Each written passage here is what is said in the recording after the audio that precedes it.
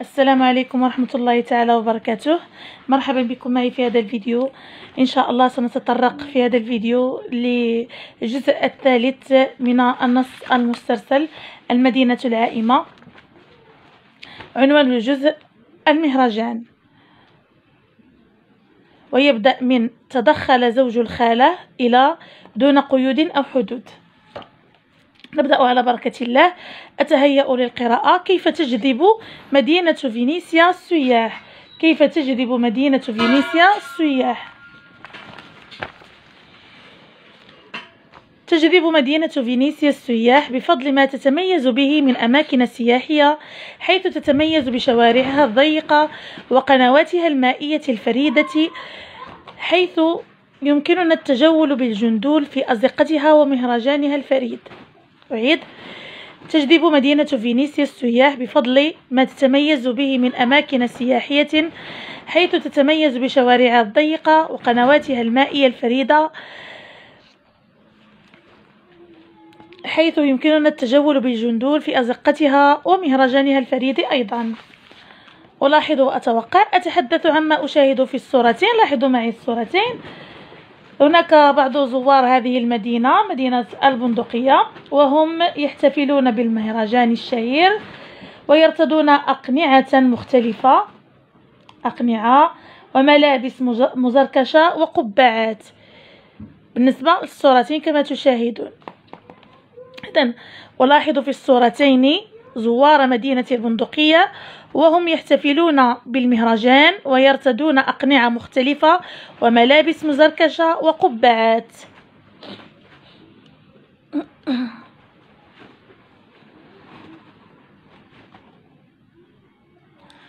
السؤال الثاني أتوقع انطلاقا من العنوان والصورتين ما سيتحدث عنه النص. إذا العنوان هو المهرجان. وبالنسبة للصورتين تدل آه، على الاحتفال. الأقنعة القبعات الجميلة تدل على الاحتفال. إذا انطلاقا من العنوان المهرجان والصورتين. أتوقع أن يتحدث النص أو هذا الجزء عن طريقة الاحتفال بالمهرجان وسبب سبب الاحتفال به وسبب الاحتفال به. أو لماذا يحتفلون به. إذا انطلاقا من العنوان والصورتين أتوقع أن يتحدث النص أو نقول هذا الجزء عن طريقة الاحتفال بالمهرجان ولماذا يحتفلون به.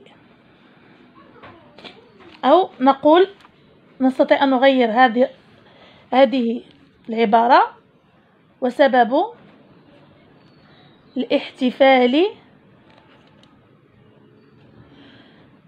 الاحتفال به.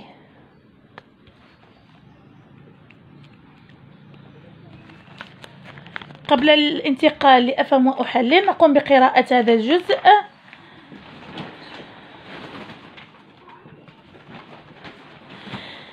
تدخل عبد المجيد زوج الخالة يشرح هذا الاحتفال مؤكدا أن له جذورا قديمة. فقد كانت المدينة في القرون الماضية مجتمعا منقسما إلى أغنياء وفقراء وكانت هناك فروق وقيود بينهما. فجاءت فكرة ارتداء أقنعة في المهرجان في مهرجان يضم الجميع للقضاء على الفروق داخل المجتمع الإيطالي. أكملت الخالة الشرح قائلة يتعمد الناس خلال أيام المهرجان إخفاء هوياتهم الحقيقية عن طريق ارتداء الملابس الغريبة والأقنعة المزركشة ليتجول الجميع وسط المدينة. ويتصرفون بكل حرية دون أن يتعرف عليهم أحد.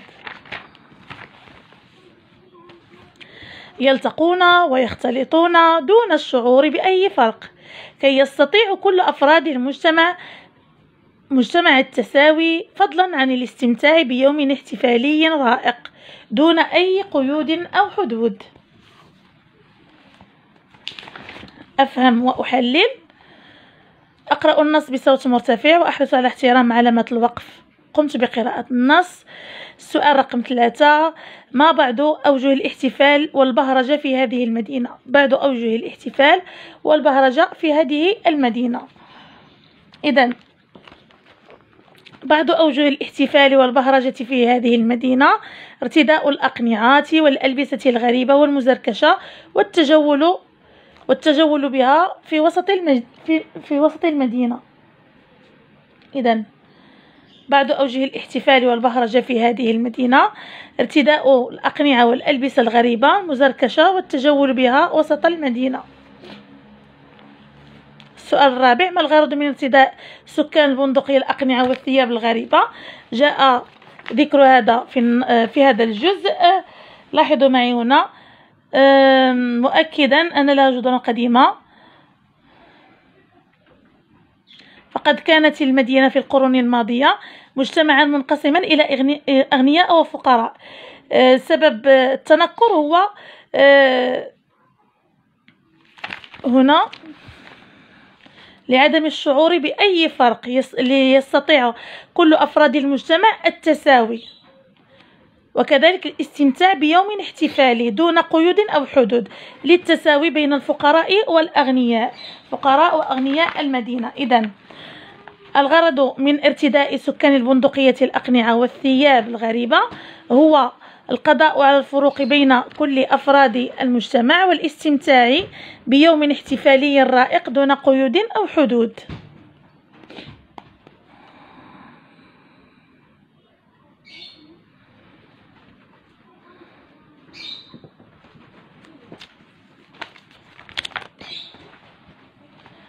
أركب وأقوم. ألخص هذا الجزء من النص بعد تحديد الأفكار. الأفكار الرئيسية والبحث له عن عنوان آخر. إذا بالنسبة لعنوان آه هذا الجزء الاحتفال بالمهرجان. الاحتفال بالمهرجان. بالنسبة لتلخيص هذا الجزء تقديم زوج الخالة لمعلومات عن تاريخ المهرجان وفكرته وفكرته وفكرته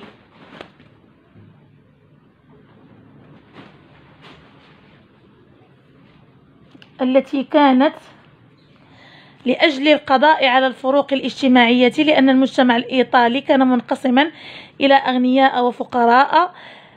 وبعد ذلك شرحت الخالة سبب إخفاء هوية المحتفلين. إذا تقديم زوج الخالة لمعلومات عن تاريخ المهرجان وفكرته التي كانت لأجل القضاء على الفروق الاجتماعية. لأن المجتمع الإيطالي كان منقسما إلى أغنياء وفقراء وبعد ذلك شرحت الخالة سبب إخفاء هوية المحتفلين.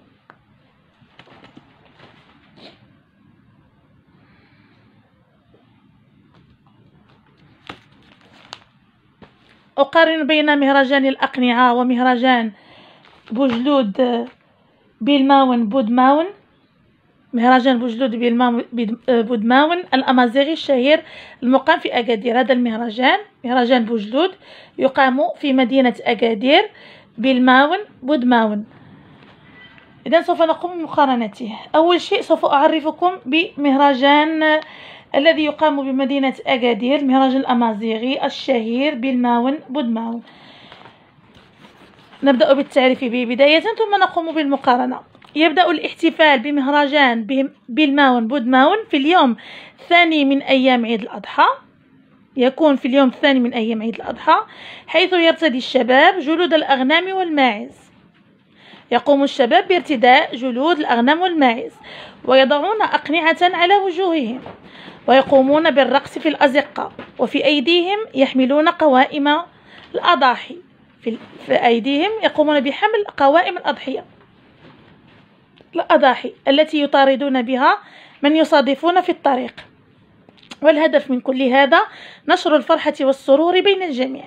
يعني الهدف من تنظيم مهرجان بالماون بودماون هو أو مهرجان بوجلود آه، نشر الفرحة والسرور بين الجميع. أما بالنسبة لمهرجان البندقية فالهدف منه القضاء آه، على الفروق الاجتماعية. داخلا على كتبت بين على الفروق الاجتماعية داخل المجتمع الإيطالي. إذا الفرق بين مهرجان فينيسيا ومهرجان بوجلود بالماون بودماون هو آه، بالنسبة للمهرجان بوجلود هو نشر الفرحة والسرور بين الجميع ثاني أيام عيد الأضحى.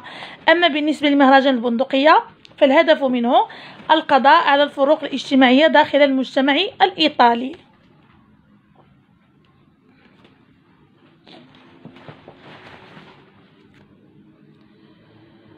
أبدي رأيي حول مدينة البندقية وأوجه التنشيط السياحي فيها.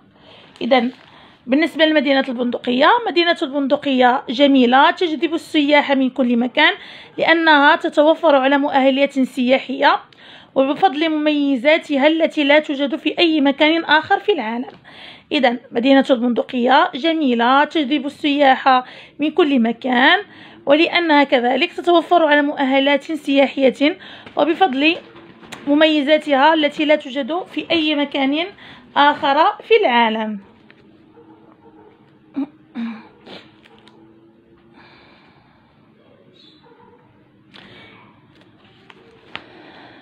أتثبت من صحة توقعاتي التي طرحتها ثم أناقشها. قمنا بتوقع إذا آه، انطلاقا من العنوان والصورتين. أتوقع أن يتحدث النص لأن دائما التوقع والملاحظة تكون قبل قراءة النص. أن يتحدث النص أو هذا الجزء عن طريقة الاحتفال بالمهرجان ولماذا يحتفلون به وسبب الاحتفال أو سبب الاحتفال به.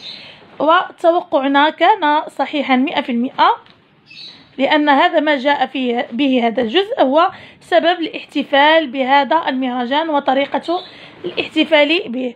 إلى هنا نكون قد وصلنا إلى نهاية هذا الفيديو. أضرب لكم موعدا في فيديو قادم. مع السلامة. إن شاء الله مورا الفيديو نحط لكم الجزء الرابع لأن بزاف ديال الناس طلبوه مني. أستودعكم الله الذي لا تضيع ودائعه. مع السلامة.